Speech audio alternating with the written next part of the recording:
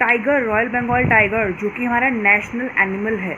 अगर वही एक्सटिंक्ट हो गया तो फिर क्या होगा? तो गवर्नमेंट ने एक्शन लिया और उसने एनिमल प्रोटेक्शन एक्ट लगाया। एनिमल कंजर्वे एनिमल को बचाने का क्या क्या? किया उसने नेशनल पार्क्स और वाइल्ड लाइफ सेंचुरीज सेटअप की। ठीक है? अब वाइल्ड लाइफ सेंचुरीज और नेशनल पार्क्स कहाँ कहाँ पर हैं? जिम कॉर्बेट नेशनल पार्क ये उत्तराखंड में ही है। गिर नेशनल पार्क गुजरात में है। Chinar wild life sanctuary Kerala में है। ऐसे ही आप ये पढ़िए, बहुत सारे नेशनल पार्क और सेंचुरीज़ हैं वाइल्ड लाइफ सेंचुरीज़ जो कि गवर्नमेंट ने बनाई हैं, ताकि जो सारे एनिमल्स हैं, वो सेफली वहाँ पर रह पाएँ और उनके लिए गार्ड भी स्पेशल रखे गए हैं, ताकि उनको प्रॉपरली नरिश्ड किया जाए प्रॉपरली उनको देखभाल की जाए। नेक्स्ट है गवर्नमेंट ने फिर हंटिंग को बैन भी किया। उनके, उनको रहने की जगह तो दी साथ साथ उनको, उसको हंटिंग को भी बैन कर दिया एनिमल्स की हंटिंग को, ताकि उनकी पॉपुलेशन थोड़ी सी इंक्रीज़ हो जाए। तो ये वाइल्ड लाइफ सेंचुरीज़ और नेशनल पार्क सेटअप करने के बाद गवर्नमेंट ने एक और एक्शन भी लिया। उसने ऑर्गेनाइजेशंस बनाई एनिमल प्रोटेक्शन एंड कंजर्वेशन के लिए। सबसे पहले W W F world wide fund for nature W W F full form क्या होगी? World wide fund for nature ठीक है? तो एक और भी बनाई people for ethical treatment of animals जिसको हम कहते हैं पीटा। P E T A PETA. और I F A W international fund for animals welfare ये सब एनिमल्स के वेलफेयर के लिए हैं एनिमल्स के प्रोटेक्शन के लिए एनिमल की कंजर्वेशन के लिए हैं, ये सब ऑर्गेनाइजेशंस गवर्नमेंट के द्वारा बनी हैं। नेक्स्ट हमने एक स्टोरी पढ़ी थी रियल स्टोरी है। स्टार्टिंग में नाइनटीन सेंचुरी में, जब नाइनटीन सेंचुरी में ये माना जाता था कि fifty thousand to one lakh tigers हैं हमारे इंडिया के सब कॉन्टिनेंट में। और तब जो भी राजा महाराजा होते थे या फिर किंग्स होते थे, वो क्या करते थे? टाइगर्स को मारना अपनी शान समझते थे। तो जैसे ही किसी भी किंग को क्राउन पहनाया जाता था नया नया राजा बनाया जाता था तो वो सोचता था कि भाई, मैं जितने ज़्यादा टाइगर मारूँगा, उतने ज़्यादा मैं फ़ेमस कहलाऊँगा। तो ये बहुत ही गलत था बट वहाँ उस टाइम जो स्टार्टिंग में पुराने टाइम में ये एक बहुत ही बड़ी पुरानी प्रथा चलती आ रही थी। तब लोग इतने एजुकेटेड भी नहीं थे और तब टाइगर्स को बचाने के लिए एनिमल्स के प्रति इतने कोई जागरूक भी नहीं थे। लेकिन जब 1971 में काउंटिंग की गई टाइगर्स की as tiger is our national animal तो पाया गया सिर्फ़ और सिर्फ़ 1800 टाइगर रह गए ऑल ओवर इंडिया में। तो गवर्नमेंट गवर्नमेंट ने सोचा ये तो बहुत ही गलत बात है। तो government of India setup tiger task force उसने टाइगर टास्क फोर्स सेटअप की जिसमें कि उसने कहा कि अब कोई भी टाइगर को आ, मारेगा नहीं क्योंकि पहले जो थे लोग बहुत मार टाइगर को हंटिंग करते थे और सोचते थे कि हमने टाइगर को मार दिया और हम बहुत ही बड़े खिलाड़ी हैं जो कि बहुत ही गलत बात है। फिर 1971 में काउंट हुआ 1800 फिर गवर्नमेंट ने 1973 में प्रोजेक्ट टाइगर लॉन्च किया जिसमें कि टाइगर्स को प्रॉपरली रिजर्व्स में प्रोटेक्टेड एरियाज़ में भेजा गया। गार्ड्स प्रॉपर प्रोवाइड किए गए। और फिर कुछ टाइम तक टाइगर का जो नंबर है वो इंक्रीज़ हो गया। फिर जब 1980s में फिर से पॉपुलेशन काउंट की तो फिर से उसकी पॉपुलेशन थोड़ी सी कम होने लग गई। क्योंकि टाइगर्स को क्या करते थे? अपने पर्सनल बेनिफिट के लिए पॉइज़न दिला पॉइज़न खिलाकर या कुछ जहर खिला करके उनको मार के चाइनीज़ मेडिसिन बनाया करते थे। चाइना के लोग। तो टाइगर फिर से दिखना बंद हो गए disappear from the Sariska tiger reserve Sariska tiger reserve से टाइगर जो है वो बिल्कुल ही ख़त्म हो गए। फिर 2018 में अभी रिसेंटली लास्ट काउंट किया गया तो हमें पता चला कि टाइगर कितने रह गए हैं इंडिया में?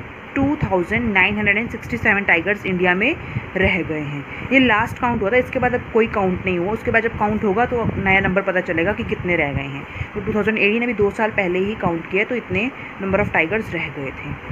तो अब ये कह रहे हैं कि सिर्फ़ और सिर्फ़ गवर्नमेंट के सपोर्ट से कुछ नहीं होगा, लोगों को भी people should also have should also support to protect the tigers from hunting ठीक है?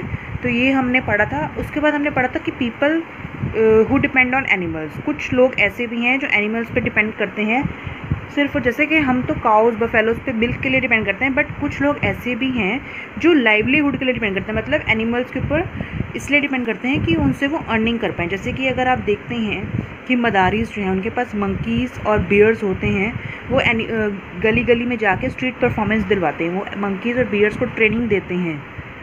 उनको ट्रेन करते हैं कि आप लोग ऐसी परफॉर्मेंस करिए जैसा जैसा आपको बोला जाएगा, आप ऐसा ऐसा उनके साथ करिए तो लोग खुश होकर के उनको फिर मनी देते हैं। ऐसे ही स्नैक चार्मर्स जो सपेरे होते हैं, वो स्नैक्स को बीन बचा के उनको इन्फ्लुएंस करते हैं, वो स्वे करते हैं, ठीक है ना? आप सुनते ही होंगे मूवीज़ वगैरह में देखते होंगे, जो सपेरे होते हैं, वो स्नेक्स को आगे बीन बजाते हैं और फिर वो स्वे करते हैं। सर्कसेस में भी लॉयंस एलिफेंट्स और हॉर्सेस को ट्रेनिंग दी जाती है, ठीक है? जैसे आप इस, देख सकते हैं, जैसे सर्कस में क्या होता है बियर बॉल के ऊपर बैठा है एलिफेंट फुटबॉल से खेल रहा है, और ये लायन जो है, वो रिंग से निकल रहा है, ऐसी ट्रेनिंग दी जाती है सबको। तो इस सब के बारे में हमने पढ़ा था बट कभी कभी क्या होता है एनिमल्स को बहुत ही गलत तरीके से ट्रीट किया जाता है। और कभी कभी तो जो ये मदारीज़ हैं, इनके पास इतना पैसा तो नहीं होता, इनको इतनी मनी अर्न नहीं कर पाते। तो ये एनिमल्स को इतने अच्छी तरह से खाना पीना नहीं दे पाते तो एनिमल्स जो हैं वो अंडर नरिश्ड रह जाते हैं। मतलब वो इतनी अच्छे उनकी पालन पोषण नहीं हो पाता।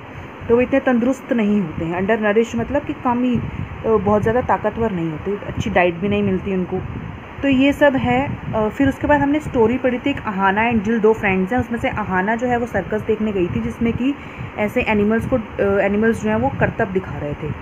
ठीक है? ट्रिक्स दिखा रहे थे कि ऐसे लाइन निकल रहा है रिंग में से एलिफेंट जो है वो दिखा रहा है। तो ये सब एक्सपीरियंस जो है अहाना अपने फ्रेंड जिल के साथ शेयर कर रही थी। तो जिल जो है अहाना को समझाती है कि अहाना अगर आपको ही अपने घर से अपने घर से निकाल करके ऐसे ही किसी जगह पर ले जाया जाए और आपको बोला जाए कि आप ट्रिक दिखाइए तो आपको कैसा लगेगा? तो अहाना ने बोला कि मुझे तो बिल्कुल भी अच्छा नहीं लगेगा। तो जिल बोलती है कि तो आप सोचिए कि एनिमल्स को अच्छा लगता होगा। क्या आपको ये पता है कि एनिमल्स को कितने गलत तरीके से ट्रीट किया जाता है? उनको मारा भी जाता है। उनको खाना पीना भी नहीं दिया जाता। उनको रखा कहाँ जाता है? देखिए तो वो नेक्स्ट मॉर्निंग जाके सर्कस अभी स्टार्ट होने से पहले मॉर्निंग में जाके देखते हैं कि एनिमल्स को कैसे रखा जाता है। तो देखते हैं कि एनिमल्स को बेचारों को छोटी सी केज में रखा जाता है। इतने बड़ा साइज़ का एनिमल छोटी सी केज में रखा जाता है। तो बहुत ही गलत ट्रीटमेंट है ये एनिमल्स के साथ। तो हमें ऐसा नहीं करना चाहिए।